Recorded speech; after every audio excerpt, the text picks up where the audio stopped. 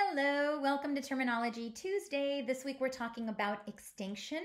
Um, you know, common myth about extinction is that it's just ignoring behavior, but that's not true. Remember, extinction is a functionally based intervention or strategy. So there are types, and the three different types are positive reinforcement, automatic reinforcement, and the correct answer this week was negative reinforcement.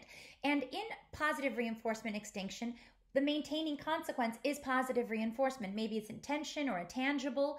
Um, in the automatic reinforcement extinction, the maintaining consequence is automatic reinforcement or sensory reinforcement.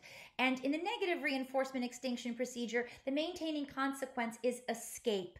So when you have behaviors maintained by positive reinforcement, your extinction is going to withhold positive reinforcement. If it's maintained by automatic, your extinction procedure will maintain automatic or sensory uh, reinforcement negative reinforcement, you will be withholding escape. Hope that helps.